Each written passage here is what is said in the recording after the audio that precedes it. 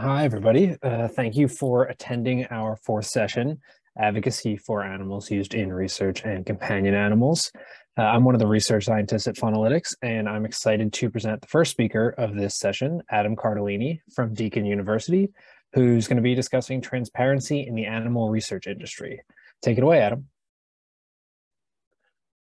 Thanks, folks. Um, I hope you can see my screen.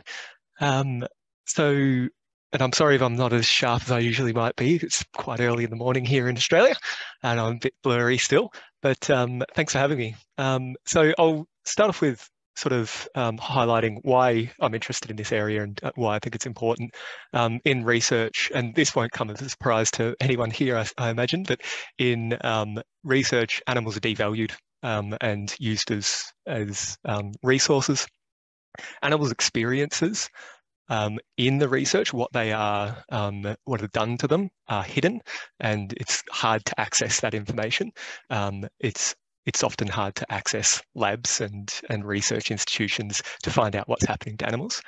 Um, the system's opaque in Australia, at least. I know that other other places like the Europe and the UK is becoming a little bit better, but um, it's hard in Australia, for instance, to know how many animals are being used um, and you can't get ac easy access to ethics applications about what is being done to animals or the number of animals that are um, happening, uh, being impacted. And I think this sort of um, system has set animal research up um, to be insulated from scrutiny and because there's not open and transparent um, conversations and information data about animal use, it makes it harder to have good critical conversations um, about the about science in uh, animal experimentation. And some of the broad and general justifications for animal use that um, you'll hear uh, a lot, and I'm sure most of you folks have heard before, is that animal experiments benefit humans, and that's why we need them. There's uh, um, uh, there's plenty of good arguments for why that's not necessarily the case, and animal experimentation um, isn't all that good, uh, and actually has negative negative impacts, uh, not just animals, but to humans and the scientific industry.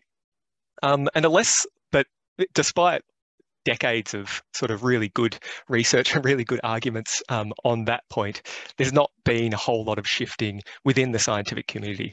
Um, and if they don't hit the um, translation, then scientists will often just say, well, at least it adds to knowledge and that knowledge might be useful in the future. We just don't know right now. It's this, you know, this idea within science where it's um, about gathering knowledge about um, about the world. So any knowledge is good knowledge. Um, and I wanted to investigate that side of um, arguments that haven't necessarily been addressed as, as much um, or as often uh, to think about, okay, can we measure how much knowledge is actually gained um, through animal use? What is the cost? And then if we understand what that cost is in terms of animal lives, are we willing to accept that cost? Um, and the other thing that this particular um, question sort of gets at and exposing this particular question um, is it speaks to uh, something that's really important to research as a scientist, which is publication. And that is the currency of, of science. That's how you become a big name. That's how you get funding. It's where you publish.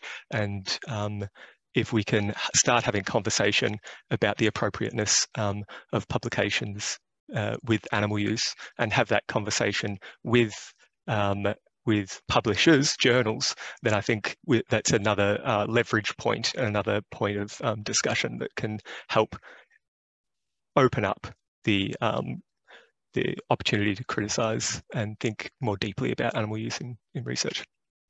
So what we did, um, started a project a couple of years ago now um, that's really trying to think about, okay, centering animals in our research, um, thinking about the animals that are in, in research, um, wanted to investigate the life cost of knowledge creation, uh, advocate for transparency and change at a journal level um, and go directly to the source.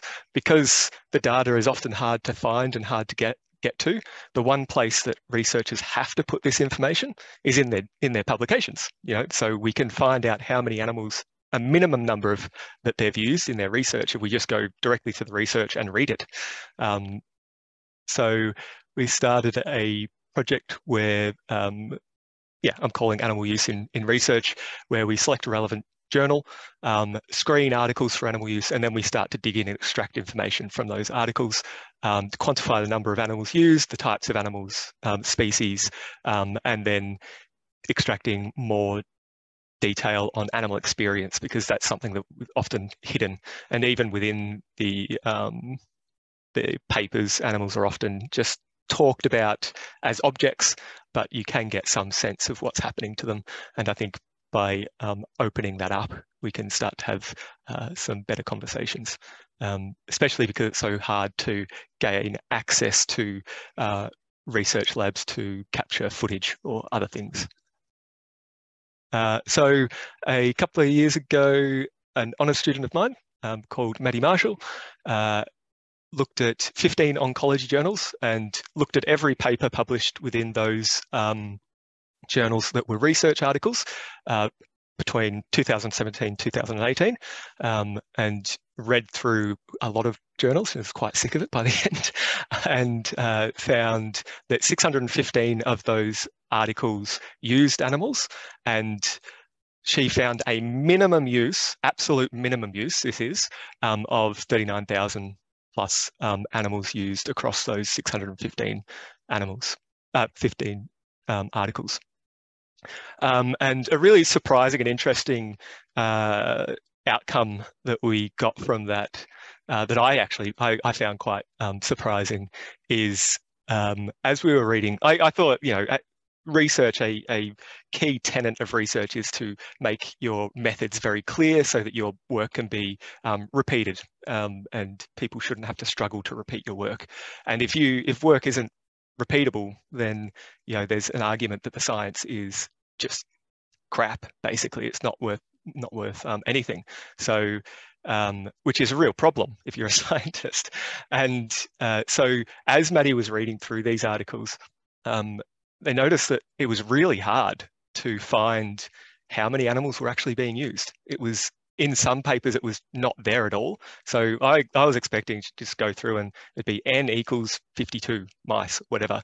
Um, but that's absolutely not the case. And that varied and changed between um, journals. And it speaks to this, this issue of transparency and this um, that the animals are being hidden even within the research, even though they should be um, being very clear about it as just a part of good scientific practice.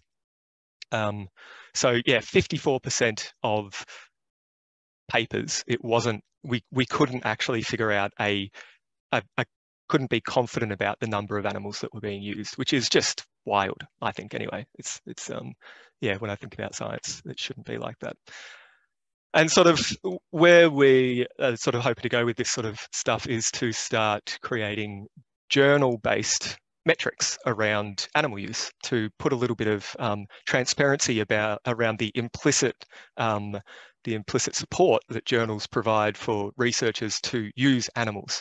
And for instance, Cancer Cell is one of the biggest oncology journals in the world. Um, and over the 2017-2018 period, uh, they had 174 articles using animals, 21,000 animals used. 73% of their articles, we couldn't figure out, um, couldn't be confident about the number of um, animals they're using, which to me just says that there's a real issue within that journal and within that research. The research is is basically useless if it can't be repeated um, transparently. Transparently, um, and the other the other point that we've sort of working towards is if we look at citations, and this is this knowledge creation idea, it's a very crude measure of this, um, but for every citation that this journal got um, for animal using studies, it costs the lives of 6.1 for individuals. Six, in, six individuals were killed to get a citation. And I think if we start to talk about animal use in research in that way, we can start to um, have more critical conversations about what we're actually doing and, and what, what it's costing and whether we're willing to have that, that conversation, uh, whether we're willing to bear that cost or force animals to bear that cost. Um, we're also doing animal impact stories, so we're extracting the um, specifics around what's happening to individuals and really refocusing on um, and recognizing that these are individuals that are um, being used in these experiments and finding some pretty, as you can imagine, some pretty horrific stories of um, the sorts of things that these, these animals are going through. And just to wrap up, um, the sort of thinking about what I how this sort of relates to advocacy and activists and animal advocates. Um, I think that it starts a conversation with a different um, group stakeholder within the research industry, which is journals, and they can set the trend for things. They could make it a requirement to um, to include more transparency, and then we can ha actually start to have uh, proper conversations um, around the three R's, which are at the moment, it's yeah, mostly not really discussed. It's sort of um, tokenistic. Uh, we could advocate for more transparent reporting and then build research out from this. So have a big database where we've got all of this information. We know that animals have been used and then we can do further research with that. Um, and thanks for Carl, Carol um, about citizen science. I actually want to turn this into a citizen science project um, and it provides a different form of action for those people who are interested in um, in sort of desktop-based activism, uh, this is a really good option that people could actually screen articles, extract data, and then build up a data set. Um, thanks for thanks for your time, and feel free to get in touch. Always happy to chat to anyone who's interested in talking about anything to do with animals, really. Thanks so much, Adam. Uh, that was a really excellent and important um, presentation. Um, that looks like all the time we're going to have for uh, for that topic until um, the breakout room that will happen at the end of this session with all the speakers. So uh, anybody who wants to continue the discussion with Adam, um, keep an eye out for that in a few minutes. Um, next up, we have Dr. Emily Trunnell from People for the Ethical Treatment of Animals, who is going to present on funding biases in animal-based research. Take it away, Emily. Thanks so much. Um, I'm going to share my presentation now. I just want to, oh, actually, I have to click this. And I just want to confirm, oh,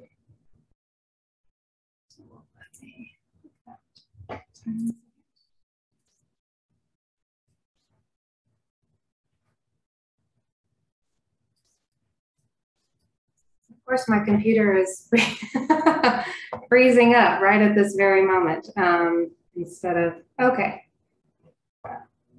What can you all see? Can you see my presentation? Right now, we can just see you. Just see me. That is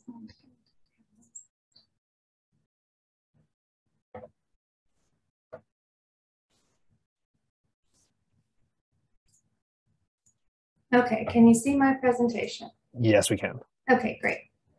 Okay, uh, thanks so much. So I am Emily Trunnell with PETA. I'm going to talk a bit, bit today about a project that I've been working on with my colleague, Dr. Catherine Rowe, um, where we're looking at whether or not there is a, um, a uh, bias towards the use of animal methods in biomedical research funding. So just very quickly about us. So we are in PETA's Science Advancement and Outreach Division, which is fairly new. We just launched in January of 2021. And rather than focusing on specific experiments or specific institutions, our goal is more overall to change scientific paradigms and change policies to move away from experiments on animals. So I think the audience of this symposium um, really understands the ethical reasons why we want to do that, but there are very strong scientific reasons as well, as, as Adam alluded to. So for example, less than 10% of discoveries from basic science research end up in entering human clinical use within 20 years. more than uh, or 95% of all new drugs fail in human clinical trials. This is after they've been through animal testing and been shown to be safe and effective in animal tests. And the process of getting new therapeutics is extremely time consuming, taking as long as 15 years and up to $2 billion just for one drug. And a lot of the reason for this cost and time is all of these failures are built into the process. So, given these really abysmal statistics, why does animal experimentation continue? A major reason for that is because it gets funded. Uh, so, we focus a lot on the US National Institutes of Health. They're the largest funder of biomedical research in the world. And they've reported that they spend roughly half of their annual budget on experiments on animals. So last year, half of their budget was about $19 billion. And this is despite those inaccuracies, the expensiveness, and, and the failures of, of animal-based methods. So in, in looking at how we can shift funding priorities away from experiments on animals, we're asking who, who are the actual people who approve these projects for funding and what are their potential biases? So to examine that, we look at the NIH grant review process, and that's conducted by the Center for Scientific Review at NIH or it's called or CSR. So CSR is divided into a number of what they call review branches, which uh, if that text is small on your screen, it's just a name of the review branches. They're pretty much divided uh, between like disease processes. And each of these review branches contains a number of what are called study sections. And study sections are the group of, of individuals that review research grant applications. So these study sections are composed of members of the scientific community. Uh, typically, the criteria to be on an NIH study section is to have received an NIH grant yourself. Um, they, these groups meet about three times per year. There's about 15 to 30 people per meeting. And uh, typically, the way it works is that two to three uh, individuals will review a grant application in detail and present that to the larger group at the meeting. And then the study section gives that grant application a score. So the study sections don't actually give the researchers the money, but that score is the most important factor that the institute that at NIH uses to determine whether or not they're going to fund that grant.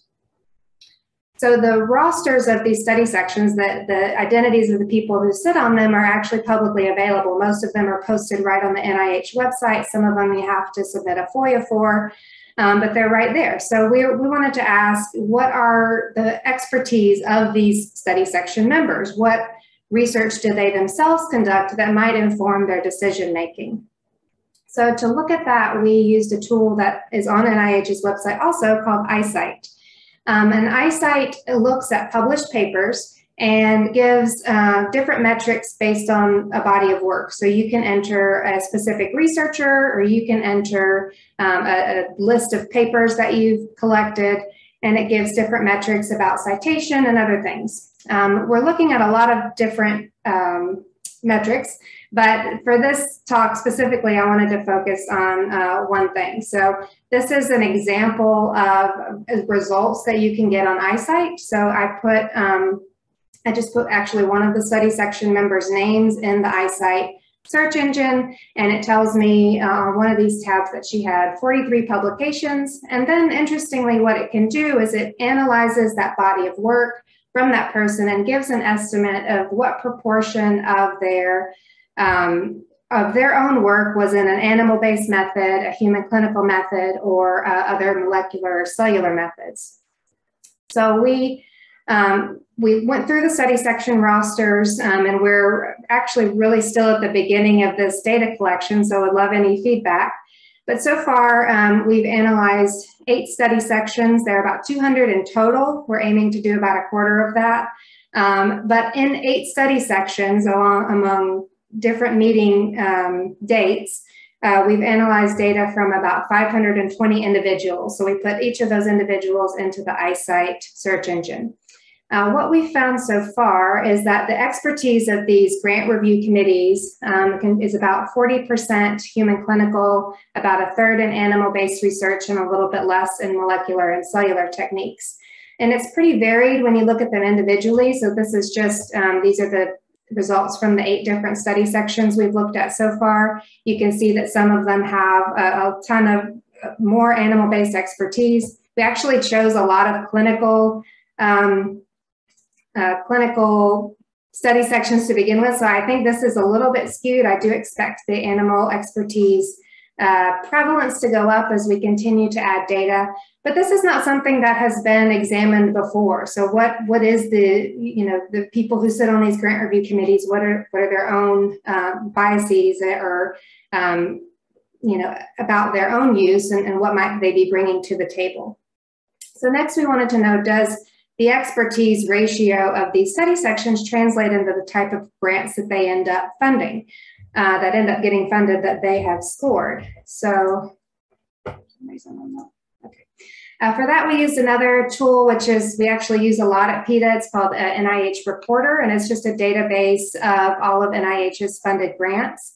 Um, and it allows us to, if you click, this is an example of a results page that I entered for one study section. Um, and if you click on the grant title, it gives you a description of that grant. And so we went through and read these grant descriptions and scored the methods that were used in each grant, whether or not they were human clinical, animal, or other type of non-animal methods such as organoids or human postmortem tissue, computational modeling, things like that what we found is that from the from the study sections we were interested in, over half of the methods funded were uh, used animals, and the, the remaining half was pretty evenly divided between human clinical research and non-animal methods.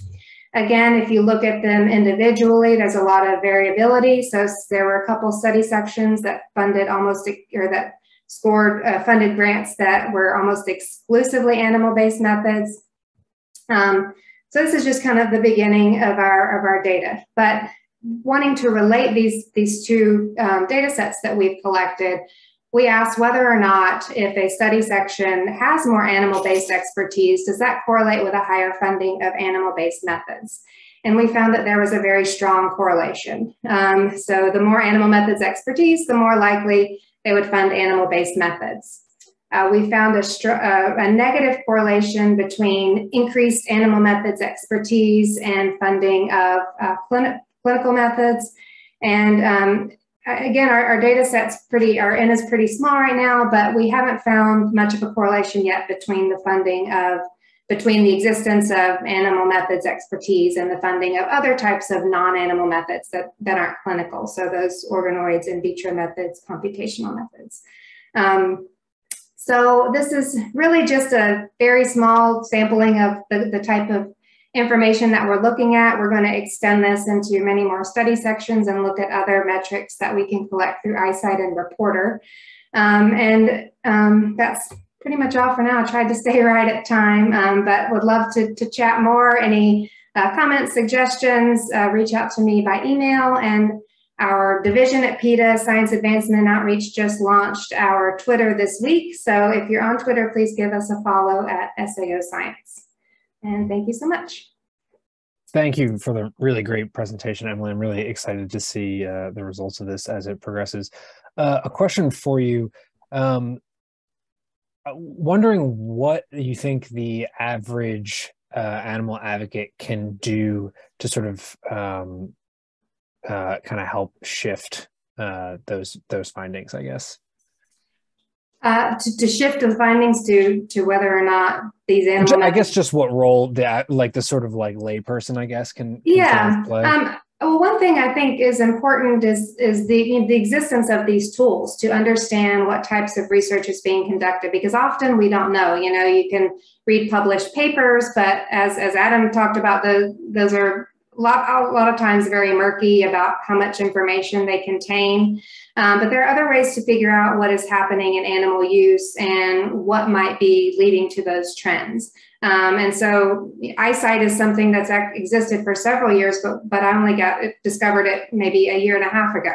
Um, so just getting these tools out there, and I love the, the idea for citizen science initiatives to be able to collect this data that is otherwise very time consuming. Yeah, that makes a lot of sense. Thank you.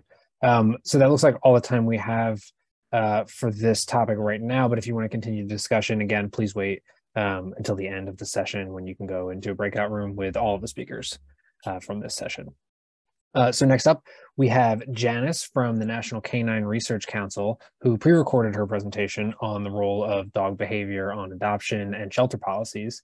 Um, but uh, please note, Janis will be live for the Q&A um, after presentation or for the breakout room. Um, take it away, Janis. I'm Janis Bradley from the National Canine Research Council. And before I get into the research review I'm here to talk about, I'd like you to just kind of park a couple of, of ideas in the, in the back of your mind.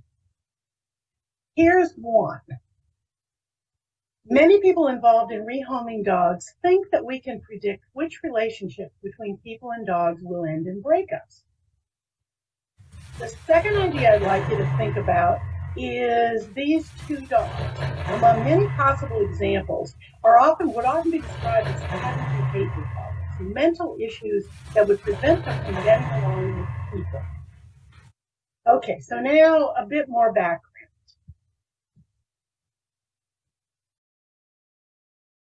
In, in 2014, a book came out called Saving Normal, an insider's revolt against our out of control psychiatric diagnosis, DSM 5, Big Pharma, and the medicalization of ordinary life.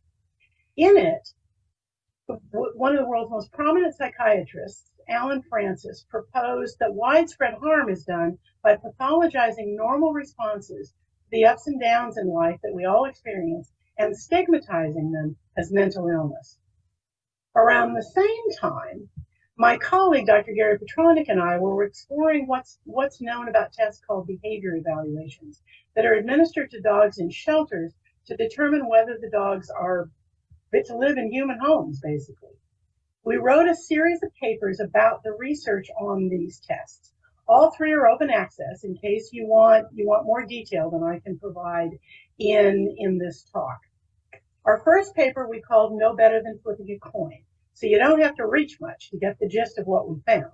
It turned out to be statistically impossible for even an implausibly valid and reliable test to tell you much about the future behavior in a home of any individual dog living in a shelter. Our second paper explored the research that's been done on the validity and reliability of these tests with equally unencouraging results. In the third paper, the one I'm presenting today, we challenge the underlying assumption used to justify the use of these behavior evaluations in the first place, and using them particularly on dogs living in shelters. This is the widespread perception that behavioral incompatibilities between dogs and their people are an important factor, sometimes even put forward as the major factor driving relinquishment of dogs. In other words, that the dogs there have in effect misbehaved their way into shelters. We appropriated Dr. Frances's title, Saving Normal, because it seemed to us to capture our finding that the literature actually revealed nothing that separated dogs living successfully in homes from those living in shelters. The idea that dogs in shelters have behavior problems began to sound to us much like the overdiagnosis of human mental and emotional defects or illnesses that Frances found so objectionable. Our process involved reviews of three groups of studies, compilations of reasons people reported for relinquishing their dogs, risk analyses of those reasons, and finally, studies of the prevalence among dogs living successfully in homes of the behaviors reported by the relinquishers. We found 12 studies that surveyed relinquishers. The literature began to emerge in the 1970s. In response to the pressure of pet overpopulation, shelters and researchers began asking people why they were surrendering their pets. One tool for getting a handle on a new and complex problem, which this certainly was at the time, is by reducing the data into categories composed of presumably similar items. But categorizing is often prone to unconscious bias and ignores differences among reasons by its very nature. So you got to be sure which eggs you're putting in which basket. We found that when when the reasons had to do with the, the, the pet owners' lives, the circumstances of their lives, they tended to be separated into specific categories. So working too much to have time for the dog was counted separately from lack of access to vet care, which was separated from not having enough money to feed everybody, which was separated from not being able to find housing that allowed dogs, and so on and so on. Each egg going into its own basket as a type of reason. But behavioral reasons tended to be lumped together, however implausibly, as all as if they were all one thing. So peeing on the floor typically went into the same basket as chewing up the furniture or barking at the UPS guy. This lumping helps cement the belief that relinquished dogs are behaviorally different from the owned population they come from, even though we found that overall behavioral reasons taken together were less frequent than other reasons taken together. Nine of these 12 studies asked people their reasons for giving up their dogs, but they stopped there. They collected no data on dogs still living in homes with their relationships intact. This means they can't shed any light at all on whether the behaviors reported actually affected the likelihood that a dog would be surrendered to a shelter, because risk analysis is a comparative measure. In this case, it would have to be a comparison between behaviors expressed by dogs being relinquished with a convincingly representative sample of dogs living in homes expressing those same behaviors. This has only been done twice, the most recent study having been done more than 20 years ago. There was a third comparative study, but it didn't look at specific behaviors, just at owner satisfaction with the relationship. So it doesn't help us here. It can only tell us about any relationship between owner satisfaction and relinquishment not what, what it was that the dog did or didn't do. In any case, the only even statistically significant correlation between relinquishment and behavior in the two risk analyses was with elimination in the house, and it was a less than robust finding. In other words, both studies found many dogs living successfully in homes who expressed behaviors cited as reasons by the relinquishing group of owners. Finally, we found and analyzed 14 studies that surveyed owners on their dog's behavior and their own responses to it. This is an image of the narrative table included in the paper. You can look at the open access paper if you want to actually read it. Um, I put it on the slide to show how we included a brief narrative analysis of each paper we found, rather than just including snippets of findings in the text of the paper to support our various points. That's sometimes the way that reviews are done. For each, we looked at the type of sample, how the owners were surveyed, what they were asked, and of course, how they responded. What we found were high levels of incidence of behaviors that the owners considered problematic or that the researchers anticipated that the owners would consider problematic, whether the owners thought so or not, right alongside very high levels of general satisfaction with the relationship, at least in the majority of the studies when that when that particular query was included. In other words, owners often reported that they didn't much care whether their dogs did this or this or any number of other things from time to time, and certainly not to the extent that they wanted to end the relationship. Turns out bonding and love don't require perfection, and even a few incompatibilities don't necessarily add up to irreconcilable differences. Yet such commonly diagnosed behavior problems can disqualify dogs from being made available for adoption if they happen to find themselves between homes and living in a shelter. These findings call into question policies arising from the twin beliefs that dogs living in shelters are more likely to express behaviors that adopters will find incompatible, no evidence there, with a successful relationship and the equally unsupported belief that we even know which behaviors are likely to cause a rift in human canine relationships in the first place. If either of these bits of conventional wisdom is actually true, we haven't been able to find any evidence for it. But the resulting policies include delaying adoptions to administer battery tests, futile attempts to suss out specific behaviors that we imagine will lead to failed relationships, and to placing restrictions on which dogs can be adopted and by which people, if any at all. Because we think we can anticipate, again, without evidence, which matchups will stick. This is the often cited fear of the so-called failed adoption, meaning a dog who is returned to the shelter which constitute a very small percentage of any ado- adoptions in any case. And, and in fact, we now have strong evidence that return dogs are readopted more quickly than those entering the shelter for the first time. Delaying or even prohibiting adoption can have heavy costs for the dogs and for the shelters. Extending dogs' exposure to the stress of a shelter environment can cause their behavior to genuinely deteriorate. It can reduce the capacity of the shelter and it consumes scarce staff time. This argues for a wholesale reconsideration of the role of dog behavior in placement decisions and of shelter policies that erect barriers to family adoptions. And now I think we have a bit of time left for some questions. Thank you so much for listening.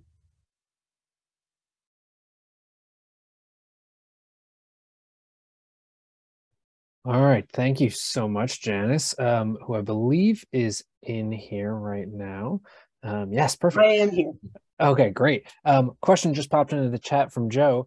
Um, can foster families play a role here in any way? Oh yes, that's the best, best, best question ever. It's it's 99% probably of the solution. The best, it's an axiom of behavior that the best predictor of future behavior is is past behavior, but only in the same context. If you want to know how a dog is going to behave in a human home, for heaven's sakes, put him in a human home you'll find out you'll find out what's real about the dog and you'll have the the advantage of built-in daily adoption query opportunities because the dog will be out there in the world in normal situations with regular people and people asking about him. So yes that's my favorite question ever. Perfect. Um, thank you so much Janis. Um, so next up, uh, that's oh, a reminder to everyone that um, we're going to have a breakout room again after the next speaker, um, and then any follow-up questions uh, for Janis, um, feel free to join that breakout room and ask them there. Um, so our next speaker, the last speaker in this session, is Dr. Steven Shepherd from Oklahoma State University, who will be presenting on the public's perception of working animals. Take it away, Steven. Okay. Um, see. There you go. Can you see my screen? Looks okay? Yes, we can. Thank you. Perfect. Um, okay, so uh, thanks everyone for being here and thanks for uh, putting this great symposium together. Um, my name is Steven Shepherd. I'm an associate professor of marketing at Oklahoma State University. Um, my training is in social psychology. Um, so using social psychology uh, methods and theories to uh, just understand phenomenon, sort of the uh, psychological process uh, behind that. So um, this research is very much in early stages, so uh, I hope that uh, there's still some um, useful and interesting information uh, in here, and uh, I hope to get some good feedback from people and uh, answer any questions that you might have. So um, with this research, um, what I'm interested in is how do people think about animal labor, and more specifically, how might people uh, rationalize um, animal labor exploitation. Okay. And so to answer this question, um, I'm mostly mostly relying on theory from uh, some research I was a part of that looked at uh, passion exploitation in human employees. Um, and so in this research, what we find is that when uh, people are passionate about their work, um, and when people perceive a person as being passionate about their job and what they do, um, people basically see it as more okay to exploit them. Now, people don't literally say that, but they see it as more okay to uh, make certain requests of that person, um, to ask them to come in to work unpaid, to do job uh, jobs that are outside of their you know job description, um, and just kind of basically taking advantage of that passion that they have. Okay, um, you see this in the arts and creative spaces, video game industry. You see it in academia a lot. Um, you see it in nonprofits as well, right? Um, all these uh, contexts where people are you know, kind of passionate about what they do, and because of that passion, um, it could be exploited in different ways and taken advantage of. Um, and what we find is that um, specifically what allows this to happen and what allows people to rationalize um, this behavior is um, this belief that people who are passionate, um, they're intrinsically rewarded um, for the job that they're doing, and they would volunteer to do it anyway, right? So if a manager is looking at an employee, they would say, well, they find this work rewarding anyway, so I can ask them to do this without extra money, or um, they would volunteer to do this anyway, and they get enjoyment out of it. So those are the kinds of things that people can do. So anyways, that's basically the theoretical lens that I'm bringing to this question. And I'm, I'm wondering if people will engage in a similar process with animals and in the context of animal labor. And I think there's reason to think that people do do this. Um, certainly in the case of dogs anyway, you see this kind of language come up again and again about, um, you know, the dogs, you know, living for the work that they do, whether it's police dogs or herding um, or whatever. Um, and you see a lot of this language around, you know, the dog's like innate drive and what they're genetically wired to do or bred to do. And you see this a lot with um, animals, and again, I think especially dogs. Um, just in general, you see this language of, well, they have these certain traits, they're ingrained in them. Um, they are born to do certain things. And that's sort of the analog here to what I just talked about with, with passion in, in humans and human employees. So kind of the proposed process um, here is uh, if certain traits about an animal are kind of particularly salient to people, um, people will see um, the animal as being intrinsically motivated to engage in certain behaviors, um, seeing the work as its own reward. You know, the animal finds it fulfilling. They would choose to do this anyway. It's what they would just kind of naturally do. Um, and then that this would lead to um, kind of exploitation. Um, and specifically, we look at we measure that by looking at uh, how ethical or unethical people think it is to put the animal in certain situations that might be associated with negative outcomes or, or certain risks.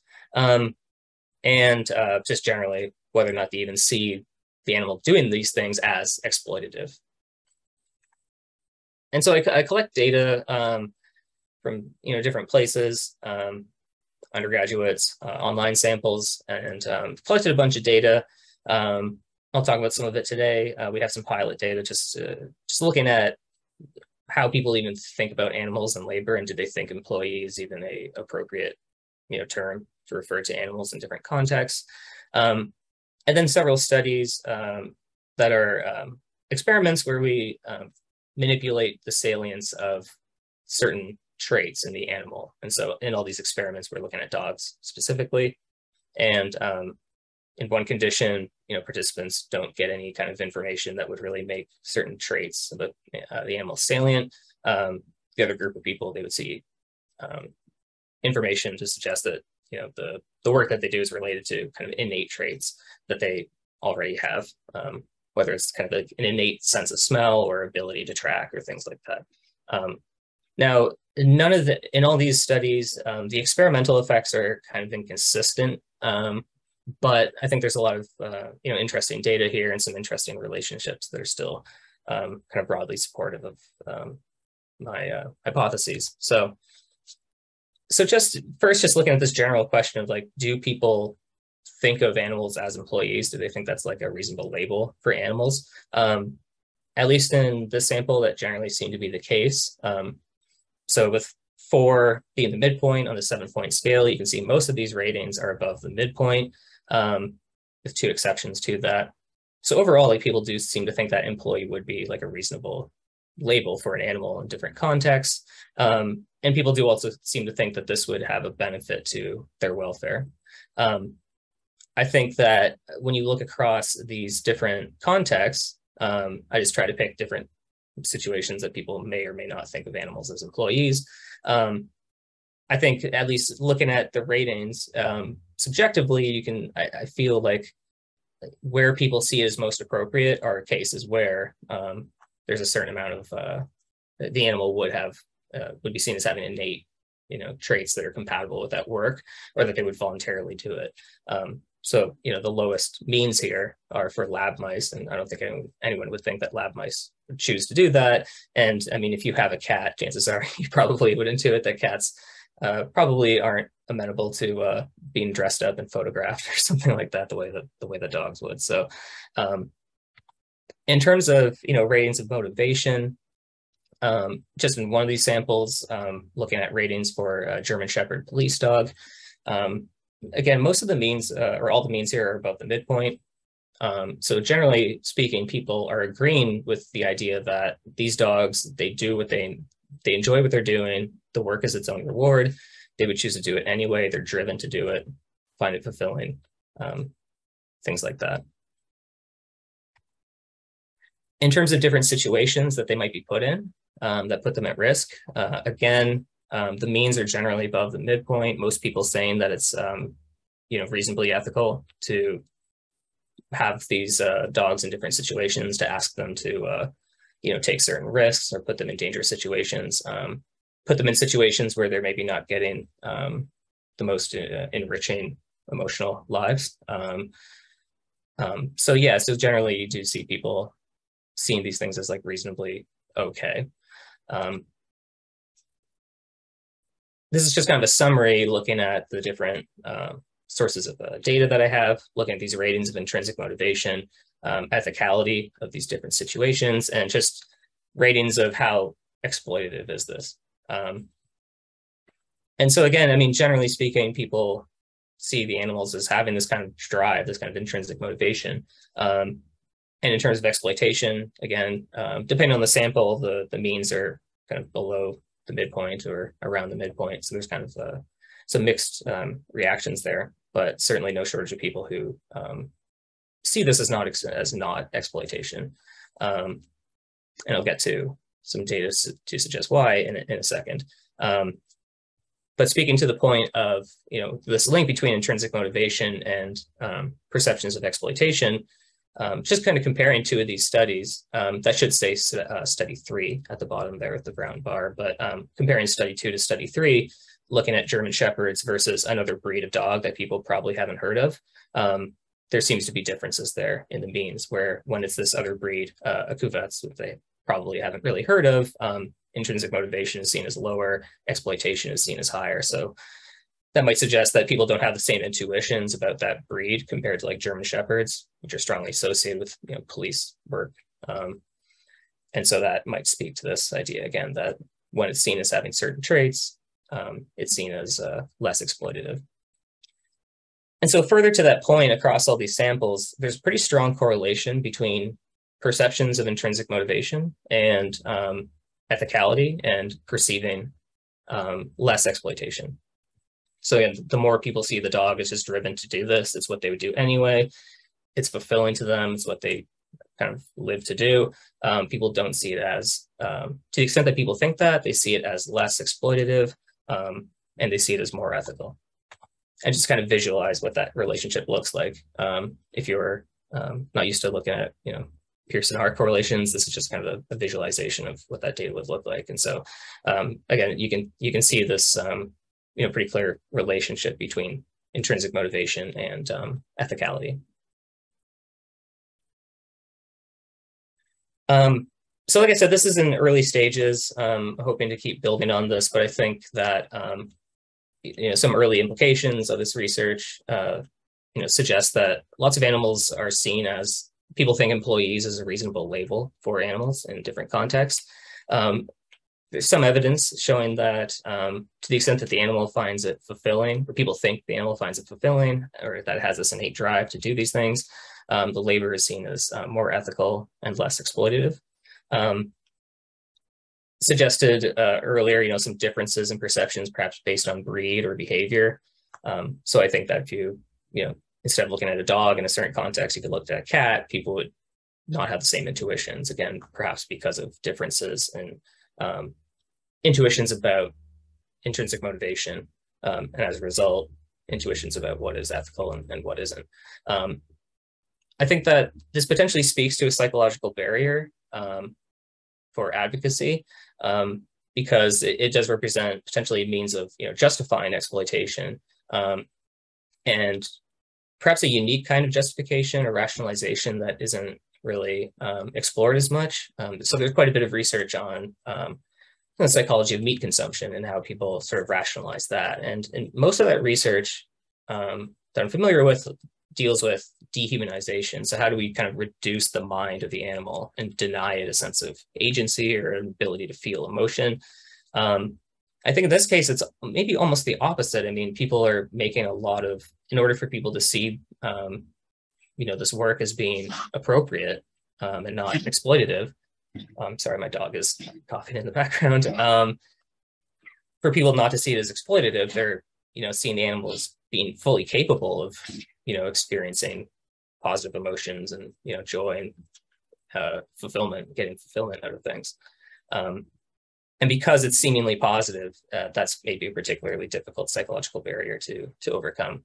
Um, and just at a more macro level, I, I just think it's interesting this kind of cyclical process where an animal like a dog is bred to perform a certain task, which then allows people to see it as intrinsically driven or you know biologically wired to do a certain behavior, which then allows people to see it as okay for the dog to be or the animal to engage in that behavior and being put in um, certain situations.